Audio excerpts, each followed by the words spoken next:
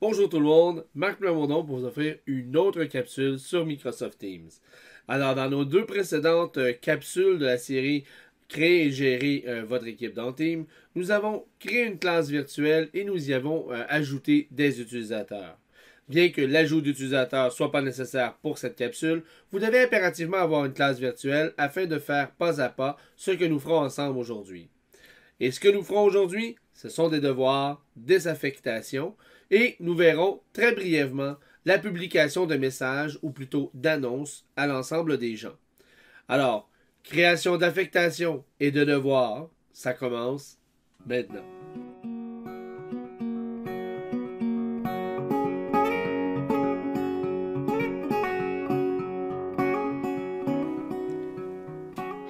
Dans le cadre de votre enseignement, il est fort à parier que vous donnerez des affectations. C'est peut-être pas le terme que vous allez utiliser, mais c'est certainement la chose que vous allez faire. En fait, ce sont des tâches, des choses à faire à vos élèves que vous allez ensuite récupérer afin de porter un jugement dessus.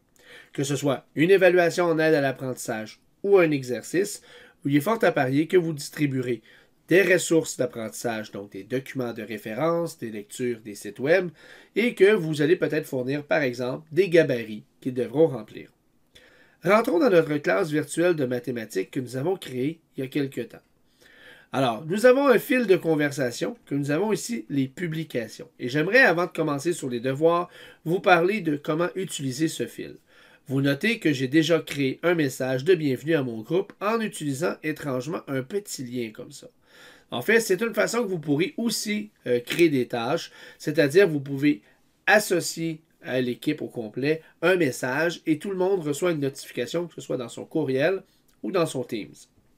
Alors, pour créer une nouvelle conversation, on clique sur le bouton Nouvelle conversation et mettons, je dis bien mettons, que vous souhaiteriez que quelqu'un lise euh, un article sur euh, un journal quelconque. Alors, je pourrais simplement faire A commercial, taper le mot équipe, et là, j'ai toute mon équipe. Et là, je pourrais écrire mon message. Bonjour, la gang. Je vous demande de lire ceci pour le prochain cours, par exemple. Et là, je voudrais probablement mettre un lien. C'est un peu complexe, mais je pourrais le copier. Mais je pourrais aussi aller ici dans Format pour avoir toute ma banque d'outils. Et là, je pourrais dire lien vers l'article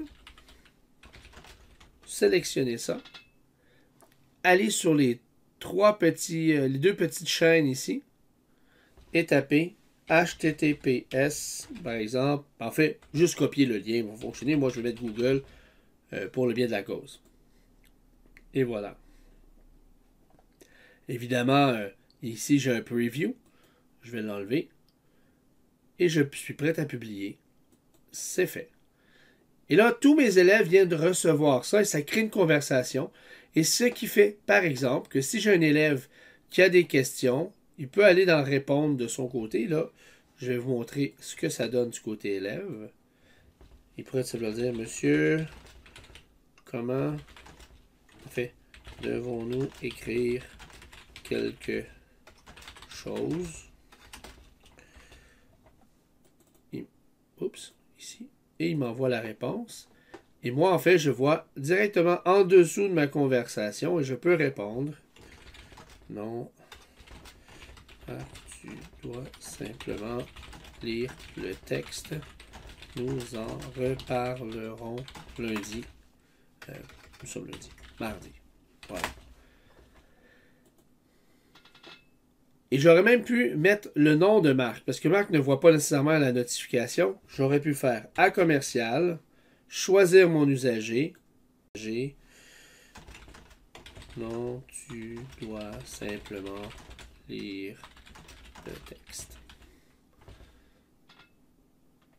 Et là, je vais envoyer ça comme ça. Vous voyez la différence entre les deux. Et euh, voilà. Donc, c'est une façon de faire des assignations. Ici, mon assignation, en fait mon affectation, c'est essentiellement une leçon. Je pourrais m'en servir dans un contexte de classe inversée, par exemple, ou je pourrais tout simplement m'en servir directement dans une classe, euh, je veux dire, entre guillemets, live, ou est-ce que, par exemple, dans une conversation, je pourrais tout simplement dire à lire et ajouter une pièce jointe directement depuis mon ordinateur, peu importe ce que je prends, hein, ça n'a pas d'importance. Télécharger le fichier et je l'enverrai tel quel. Donc, c'est une autre façon, en fait, de assigner des choses. Mais ici, il n'y a pas de retour. Il n'y a pas de note, il n'y a pas de devoir. C'est uniquement de transmettre à travers le flux de conversation euh, des fichiers, des consignes, etc. Maintenant, si vous voulez quelque chose d'un peu plus solide, par exemple, si vous voulez des aides à l'apprentissage, dans, des situations d'apprentissage où vous allez peut-être colliger des notes, ben, à ce moment-là, vous allez devoir utiliser la fonction des devoirs. Et ça ressemble environ, ça ressemble à peu près à ceci. Vous avez des brouillons, vous avez les devoirs qui peuvent être attribués et vous avez les devoirs qui sont retournés. Pour l'instant, nous n'en avons aucun qui a été retourné à l'élève. Euh, si vous ne voyez pas ça, juste brièvement, il est possible que vous voyez présentement ceci. Vous allez voir ça juste la première fois. La première fois que vous allez ouvrir vos devoirs dans votre classe virtuelle, pas de panique, vous cliquez sur prise en main et ensuite, vous allez voir créer en bas, vous allez pouvoir apparaître exactement dans la même interface que vous voyez ici. Pour créer un devoir, vous allez sur créer. Vous pouvez le faire à partir d'un devoir existant. Donc, si vous avez fait un modèle, quelque chose qui est essentiellement toujours la même chose euh, que vous répétez ou à peu près, mais vous changez la ressource, vous pourriez utiliser à partir d'un devoir existant. Un classique, ce sont les méthodes euh, pédagogiques dites d'exercice répété. Alors, si par exemple, euh, dans vos exercices répétés, ben, vous changez simplement le fichier qui contient les exercices, mais que les consignes et le pointage sont toujours les mêmes, ben, vous pourriez faire à partir d'un devoir existant, choisir dans les devoirs que vous avez dans votre cours, je vais aller dans mais dans le cours de mathématiques, choisir mon devoir, et aller ensuite altérer son, le devoir. En fait, là, il va le charger, ce ne sera pas très long. Et je vais pouvoir aller euh, le modifier. OK? C'est sûr que les ressources sont probablement la chose que je vais modifier en premier. Là, c'est marqué copier en cours. Ça prend un petit peu de temps. On va attendre. Voilà. Donc, il a fait une copie de mon fichier, euh, mais je pourrais le changer, ce fichier-là. En fait, je peux aller ici, le retirer et tout simplement ajouter un autre fichier à partir de mon ordinateur, par exemple. Aller sur mon bureau, dans mon dossier de mathématiques, prendre un autre dossier, je prends n'importe quoi, c'est pas grave, et l'ajouter. Et là, ben, tout le reste de mes paramètres serait déjà fait. Euh, j'aurais qu'à l'envoyer tel quel. Faites attention par contre, des fois, les dates d'échéance, ça, serait bien d'échanger. Euh, si vous avez mis des dates d'échéance ou des dates de fin, euh, évidemment, il prend les dates de votre autre devoir. Alors, je vais laisser ça là, je vais l'enregistrer, je vais le mettre juste en brouillon. Et je vais vous montrer comment on en fait un maintenant depuis zéro. Donc, vous faites créer. Vous allez cette fois-ci dans affectation. L'affectation, c'est un devoir, tout simplement. Donnez-lui un nom qui est significatif. Et si je peux vous recommander, mettez-lui un préfixe. Par exemple, c'est peut-être ma quatrième activité, donc A, ou ma deuxième dans ce cas-ci, A02. Euh, petit rappel sur l'algèbre par exemple. Catégorie, est-ce que c'est par exemple un formatif, un sommatif, un, sommatif, alors je veux dire un exercice, par exemple. Mes instructions, je peux aller ici, écrire instruction 1, 2, 3, 4.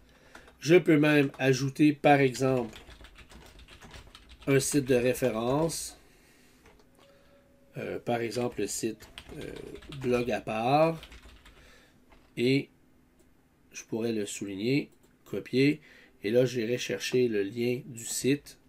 vous comprendrez que je vais mettre un lien fictif de Google. Mais j'irai chercher le lien, je le copierai. Mes directives sont faites. Au niveau du pointage, je peux en mettre, je peux décider de ne pas en mettre. Je peux également choisir de mettre un barème que je peux créer sur pièce ou en prendre un qui existe déjà. Un barème, là, pour vous donner une idée, ça ressemble à ça. Donc, il y a un titre du barème, une description. Ça ressemble un peu peut-être à ce que vous avez vu euh, à l'université. Là, ce sont des grilles critériées. Euh, je vais l'annuler. Moi, c'est un exercice, mais je n'ai peut-être pas de pointage. J'en mets pas. Enfin, je vais mettre un pointage pour que vous puissiez voir la note tantôt. Attribué à. Vous pouvez l'associer à tous les élèves, tout comme vous pourriez aller dans la liste de vos étudiants et l'associer seulement à deux élèves qui auraient besoin, par exemple, euh, d'enrichissement ou euh, qui éprouvent des difficultés et qui auraient besoin de travaux d'appoint. Euh, mais dans mon cas, je vais l'affecter plutôt à tout le monde. Donc, quand j'efface, par défaut, c'est affecté à tous les étudiants. Je peux modifier le type d'affectation, le type d'attribution. Par exemple, on dit ne pas assigner le devoir à l'avenir aux étudiants ou assigner le devoir à l'avenir à tous les étudiants. C'est pratique si vous créez avant d'avoir ajouté vos élèves. En fait, ce que ça dit, ça, c'est que si un élève se joint à votre Teams après que vous ayez créé le devoir, on va finir par y arriver, euh, ben, le devoir va lui être affecté automatiquement. Si vous laissez l'option par défaut, ne pas assigner le devoir, tous ceux qui arrivent dans votre équipe plus tard ne verront pas les travaux qui ont déjà été affectés, qui sont passés. Donc, moi, je vais le laisser comme ça. Je vais aller maintenant pour date d'échéance. Dans modifier, euh, il y a quelque chose qui est intéressant, c'est que vous pouvez planifier pour le futur. Par exemple, je veux dire, ben, ça, c'est un travail qui va être euh, vendredi. Donc, il n'apparaîtra pas à mes élèves avant vendredi. Il ne sera pas publié. Euh, faites attention quand vous choisissez une date, il faut également choisir une heure. Bizarrement, il n'y en met pas une par défaut. Alors, je vais mettre ça le matin. Je dois également évidemment avoir une date d'échéance qui est après la date et heure que j'ai choisie. Alors je vais y aller tout simplement pour midi. On n'a pas besoin que ce soit vraiment très loin. Et je, ne mettrai pas de date de clôture, euh, mais pour des projets, vous pourriez décider d'utiliser cette fonction. Ce que ça fait, c'est que la date de clôture, passé cette date-là, on ne peut plus remettre le devoir. Euh, alors que si vous n'en mettez pas, la date d'échéance va faire foi d'un retard. Donc, on va dire le travail est en retard, tout simplement. C'est ce que je vais laisser. Et voilà. Dernier paramètre que vous voyez en bas, on vous dit que l'affectation va se faire dans le canal général. J'aurais pu, et d'ailleurs c'est quelque chose que je vous recommande de faire, créer un canal public, donc ajouter un canal pour cette stratégie-là, et qu'on va appeler travaux et devoirs. Je vais le laisser à standard. Donc, tout le monde va le voir. Euh, je vais cocher également afficher automatiquement ce canal à tout le monde. Et là, ça va faire en sorte qu'au lieu d'avoir des publications qui peuvent se perdre un petit peu, parce que là, vous pouvez deviner que si j'ai une activité en ligne de mes élèves très assidus, très nourris, mes affectations vont disparaître. Ils, vont, se faire noyer dans le reste. Alors que si je le mets ici, ce qui n'est pas un devoir va apparaître, il n'y a pas de problème. Puis ce qui est un devoir, ben, va apparaître, oui, dans l'onglet Devoirs, mais ils vont aussi voir le message. Donc, si je retourne dans mes devoirs, et là, vous voyez que j'ai quitté tantôt abruptement, le zéro, mais qu'est-ce qui est arrivé? Pas de problème. Il est, pas, il est encore ici. Et je peux aller continuer de travailler dessus. Changer la dernière petite chose, qui est le canal dans lequel je souhaite que ce soit publié. Et voilà. Je vais cliquez sur planifier, puisque ce n'est pas affecté, hein, il est planifié pour plus tard. Et voilà. Donc, j'ai mes brouillons, j'ai mes attribués, je n'ai aucun retour. Et si je vais voir dans les notes maintenant, pour vous donner une petite idée de quoi ça a l'air. Donc, on voit que j'ai un des travaux, un des travaux, pardon, qui a été complété par un de mes usagers. J'ai affecté une note. Comment j'ai fait ça? Ben, j'ai ouvert tout simplement ici le travail de mon étudiant. Je suis allé mettre des commentaires, possiblement dans Word, avec l'option de révision. Et là, j'ai ajouté ici des commentaires, par exemple. J'ai choisi euh, cette question-là, j'ai mis un commentaire, je l'ai publié. J'ai peut-être mis des commentaires généraux ici. Je lui ai donné une note. Puis une fois que c'est fait, j'ai fermé. Et là, il a eu sa note. Je peux également changer en fait la note même directement ici. Ça va marcher aussi. Donc deux endroits. Oui. Ne cliquez pas sur retourner. Ça, je sais que c'est contre-intuitif, c'est bien intéressant ce bouton-là, Mais retourner, en fait, c'est comme si vous redonniez la copie à votre élève et que vous lui disiez va falloir que tu travailles un peu plus fort, refais-la. Alors, quand vous avez mis tous vos commentaires, vous faites simplement fermer et non pas retourner. Sinon, vous lui redonnez sa copie. OK?